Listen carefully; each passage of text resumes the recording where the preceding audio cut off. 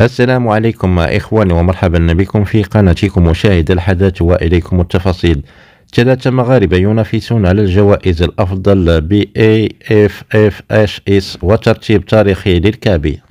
رشح الاتحاد الدولي للتاريخ والإحصاء AFFHS ثلاث مغاربة لجوائز الأفضل في سنة 2024 وتم ترشيح الحسين عموتة مدرب الجزيرة الإماراتي الحالي ومنتخب الأردن سابقا لجائزة أفضل مدرب للمنتخبات الوطنية.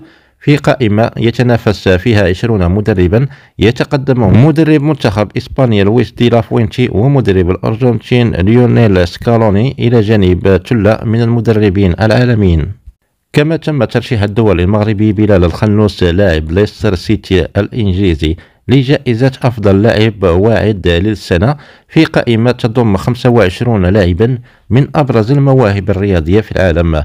يتقدمهم كل من الإسبانيين لامين يامال وغافي من برشلونة الإسباني والبرازيلي أندريك والتركي أردا غولر من ريال مدريد. وفي فئة تحكيم السيدة تنافس الحكمة بشرى الكربوبي على جائزة أفضل حكمة في سنة 2024 في قائمة تضم 10 حكمات من بين الأفضل في العالم. وفي السياق ذاته كشف الاتحاد الخاص بتجميع الإحصائيات والأرقام عن تصدر أيوب الكعبي مهاجم المنتخب الوطني وأولمبياكوس اليوناني جدول ترتيب أفضل هداف العالم لسنة 2024 حيث يتم احتساب أهداف اللاعبين مع المنتخبات الوطنية والمسابقات القارية الكبرى في الفترة ما بين فاتح يناير 31 أكتوبر 2024 وسجل الكعبي 18 هدف متبوعا بنجم العين الإماراتي ولاعب الأسود سفيان رحيمي صاحب 17 هدفا فيما يحتل النجم الإنجليزي ومهاجم بايرن ميونخ الألماني هاري كين المركز الثالث ب 15 هدفا.